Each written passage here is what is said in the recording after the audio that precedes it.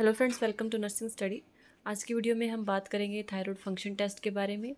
तो इसे हम टी भी बोलते हैं, ठीक है? जब भी आप क्लिनिकल ड्यूटी के लिए जाएँगे, जब आप पेशेंट की फ़ाइल आप देखेंगे तो उसमें आपको ये T F T L F T तो काफ़ी सारे ऐसे टेस्ट मिलते हैं देखने को। तो उनमें से एक है थायराइड फ़ंक्शन टेस्ट तो इसमें क्या है? थायराइड टेस्ट किया जाता है, ठीक है? इसमें क्या क्या टेस्ट किए जाते हैं वो सभी हम इसमें डिस्कस करेंगे और क्यों किया जाता है डेफिनेशन क्या है और इसकी नॉर्मल रेंज क्या रहती है, ठीक है?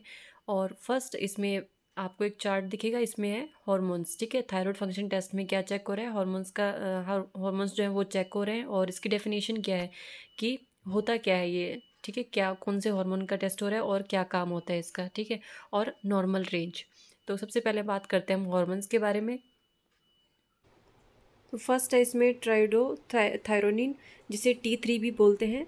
और इसकी डेफिनेशन क्या है? Abnormally high level most commonly indicate a condition call the grave disease अगर पर्सन की बॉडी में या पेशेंट की बॉडी में टी थ्री ज़्यादा मात्रा में प्रोड्यूस होता है तो उसे जो कंडीशन होती है ग्रेव डिज़ीज़ जो है वो पेशेंट को हो जाती है। This an autoimmune disorder associated with the hyperthyroidism ठीक है? इस, इसमें ये जो ग्रेव डिज़ीज़ हो रही है क्यों हो रही है? आउटो इम्यून डिसऑर्डर की वजह से। आउटो इम्यून डिसऑर्डर मीन्स जब जब हमारा इम्यूनिटी सिस्टम जो होता है, वो हमारे बॉडी के अगेंस्ट वर्क करना शुरू कर देता है।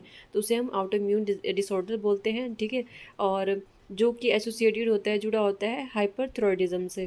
ठीक है, अब इसकी नॉर्मल रेंज आती है नॉर्मल रेंज होती है इसकी seventy five to two hundred N G D L उसके बाद आता है थैरोक्सिन यानी कि T four a high level of T four indicate an over acting thyroid ठीक है, यानी कि अगर हाई लेवल हो जाती है टी फोर की, उसमें क्या होगा? ओवर एक्टिंग ऑफ़ थायरॉयड यानी कि थायरॉयड की जो प्रोडक्शन है वो ज़्यादा हो जाती है, ठीक है? इस, ये भी एक हाइपर थायरॉयडिज्म ही इसको हम बोलते हैं।